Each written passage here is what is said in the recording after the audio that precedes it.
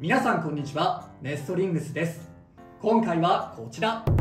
新しく発売されたランダムブースターホエールウェーブセレクトのパーツを使って 3on3 デッキを組んできたのでこちらでバトルしていきたいと思います。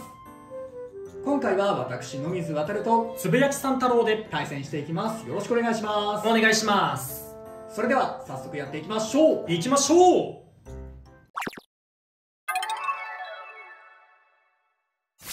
最初にシュートポジションを決めるじゃんけんをします。最初はグー。じゃんけんぽい。左。お互いのファーストベイ。せーの。じゃん。ホエールウェーブ。960GP エアロペガサス。360E ファーストバトル。レディーセット。スイッツーワン。ゴーシュあぶねえ。いい走り。さあ落ち着いていく。エレベートはあんまりダッシュはしないんだけど。どうだ？斜めになりやすいからねそこだけ要注意。わだいぶ斜めになったね。うん。スピンフィニッシュ。エアロペガサスにワンポイント。いや当たんなかったのが良かった。お互いのセカンドベイ。せーのじゃんシャークエッジ。360E ホエールウェーブ 560C セカンドバトルレディーセット。スリーツーワンゴーシュ。あー激しい危なかったよ今。おーどうだ？ースタミナが傾くよしよしよし。スピンフィニッシュ。シャークエッジにワンポイントやったぜ。いやーいい攻撃はしたんだけどなお互いにがっつりスタミナ減ってたね。ね。とお互いのサードベイせーの。じゃん。ユニコーンスティング。160G フェニックスウィング。960R サードバトル。レディーセット。スイッツーワンゴーシュうわーナイスナイスナイスナイいやー戻ってきた。よしよしよしいいぞ。次行こう。いやーもうどっから来られると。こっから耐えていけさあグライドスタミナがどれだけ残るか。おいいぞ。ナイススピンフィニッシュユニコーンス。ティングにワンポイントいや戻ってきたの偉い。いやー惜しかった。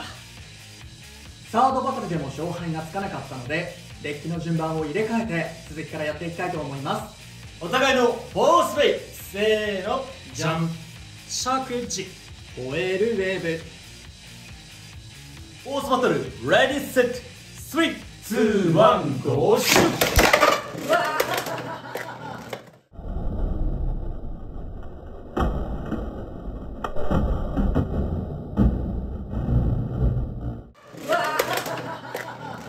エクストリームフィニッシュ。シャークエッジにスリーポイントやったぜ。とよってこの勝負はつぶやきさん太郎選手の勝利だ衝撃の位置取りが良かったね。くえ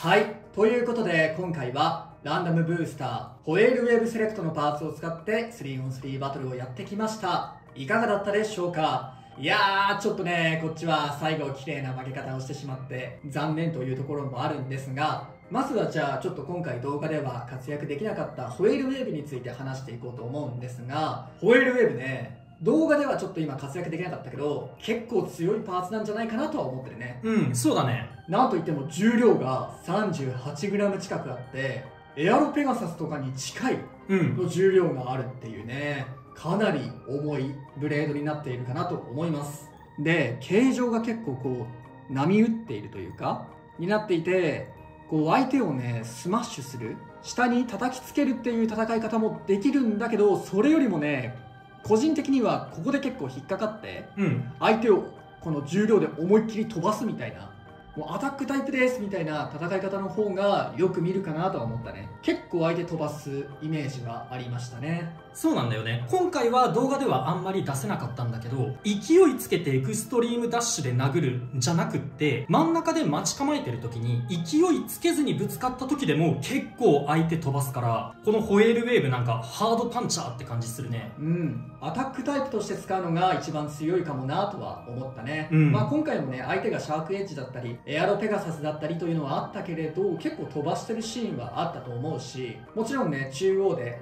ぶつかり合って飛ばすっていうのも強いんだけどエクストリームダッシュでねこの重い重量とそしてちゃんとした引っかかりで相手を思いっきり飛ばすっていうのもめちゃめちゃ強くってね。結構今後 3on3 に入れる人が出てきてもおかしくないブレードかなとは思いました。うん。一撃一撃が本当重い音がするよね。うん、ただ動画内でつぶやきさん太郎も話していたんだけれどやっぱりね傾きやすさそっていうのは感じるところはあるうね、ん。エアロペガサス使ってた時にも同じような感想があったんだけどこいつもかなりね外に重心が寄っていて一回倒れると復帰するまでがかなり難しいイメージはあったね。そうだね。重心も上の方にあるからさそれもちょっと倒れやすくてなおかつ体勢を立て直しづらい要素になってるよね。そうね。高いもんね。やっぱ位置がねメタルのある位置が、こう上に出っ張ってる部分もあるわけだし。そう。だから攻撃力はあるんだけどなかなかスタミナ面がちょっと運用難しいところはあるね。うん、だからやっぱりアタックにだいぶ寄せた方が強く運用できるかなっていう感じはしましたね。今回私はサイクロンを使ったのは、まあ、ホエールウェーブのそのアタック力っていうのを生かすために何回もエクストリームダッシュできるようなビットがいいなと思って。でまあ実際にガチ対戦するんだったらラッシュはウィングに使っちゃうと思って。うん。だとしたら何が相性がいいかなって思った時に今回はサイクロンを使ってみたんだよね。結構こう何度もエクストリームダッシュしてくれて攻撃もできるから相性はいいかなと思ったね。なるほどね。で俺が GP 使ってたのはその勢いつけずに真ん中で落ち着いてる時でも接触できれば強い一撃が入る。っていうのを GP で再現しようかなって思って。GP なら走ることもできるし真ん中で落ち着いて回ることもできるからどっちの場面になってもホエールウェーブなら結構強みを活かせるかなって思ったんだけどただねこのカスタマイズやっぱ斜めになった時にね戻しづらい姿勢を戻しづらいっていうところが弱点かなって思いました。でこの弱点を正すためにビット何に変えたらうまく回るかっていうところで DB とか使ってみたんだけど DB なら結構ね姿勢崩さず終盤バトル終盤まで綺麗に回ってはくれるんだけどバーストしやすくってそこがちょっと怖くてね。DB は相性はいいんだけどちょっと使うのリスクかなって思って今回 GP の方で使ってみました。そう話してなかったんだけどさ結構ホエールウェーブ上に向かって飛んじゃうような時う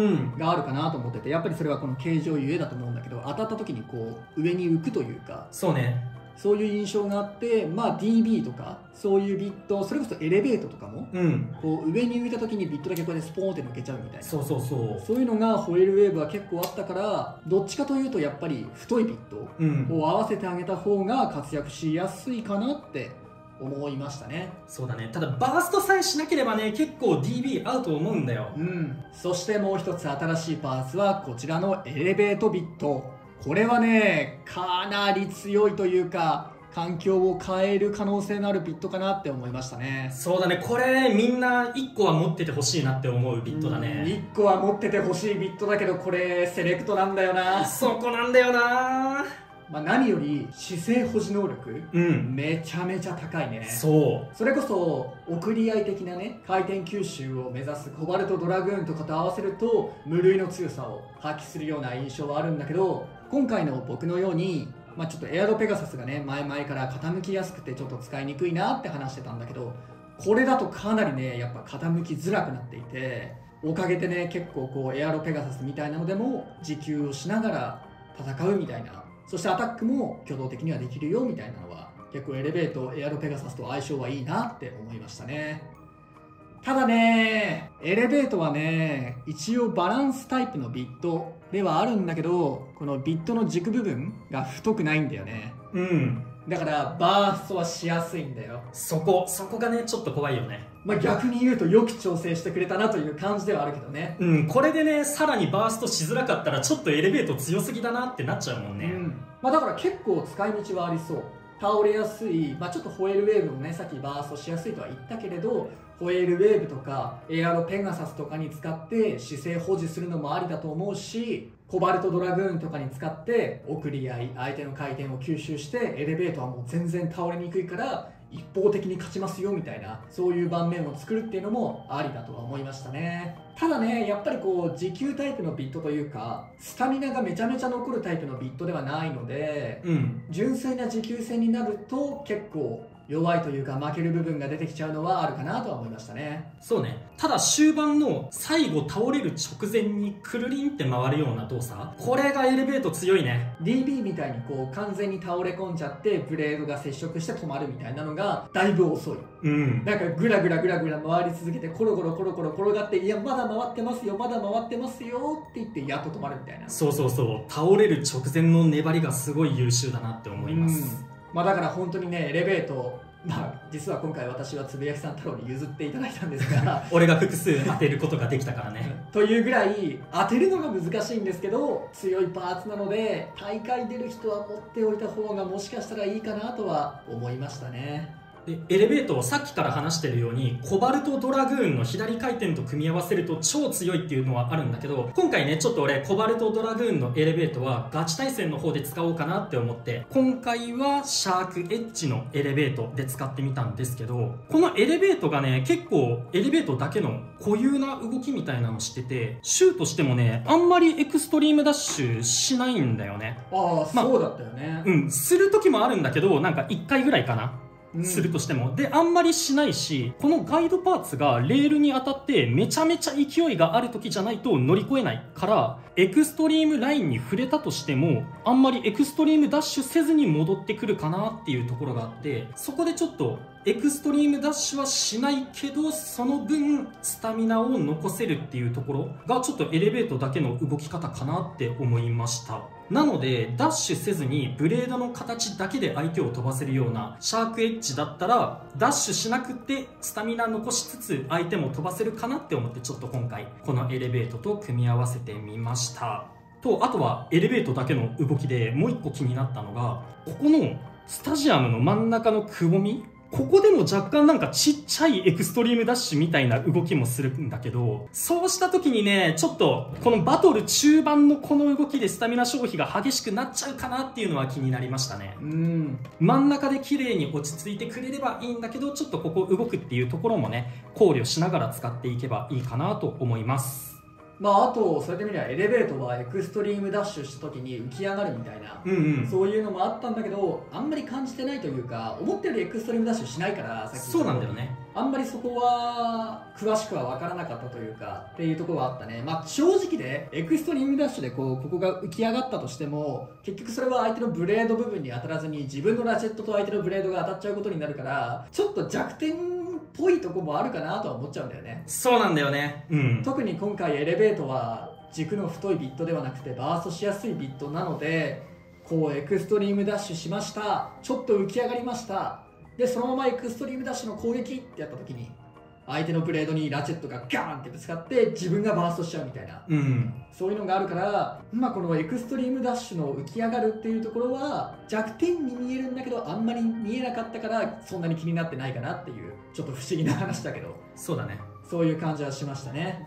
まあそんな感じでちょっとさっき言った通り当てるのは難しいんですがエレベートはかなり強いパーツだと思いましたし、まあ、必ず手に入るねホエールウェーブも 38g 近くあってかなり重くてアタックもかなり強いブレードで結構おすすめなので皆さんもよければランダムブースターホエールウェーブセレクトを買って遊んでみてください。